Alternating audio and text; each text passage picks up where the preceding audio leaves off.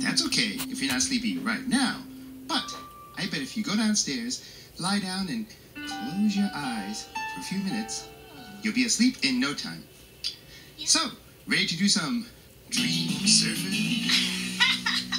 Dream surfing? You're funny, Bear. okay, let's go. Surf's up, dreamer dude. See you in the living room, Bear. Oh, um, I'll be right down to tuck you in.